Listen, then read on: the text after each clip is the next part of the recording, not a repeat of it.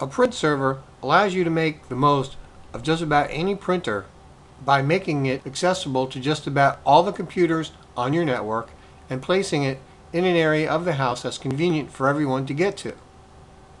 Instead of having everyone fight over the printer PC, you can now have a centrally located printer that everyone can access. So the way a print server works, instead of printing to a port that's connected to your computer, we actually set up an IP address, or in the case of some print servers, a virtual USB port. When that virtual port or IP address is associated with the correct print drivers, anyone on your network can print to it. These can be a little tricky to get working and keep working, but I'll show you some tricks to get them up and running and stay that way. And that concludes the networking hardware section of this course.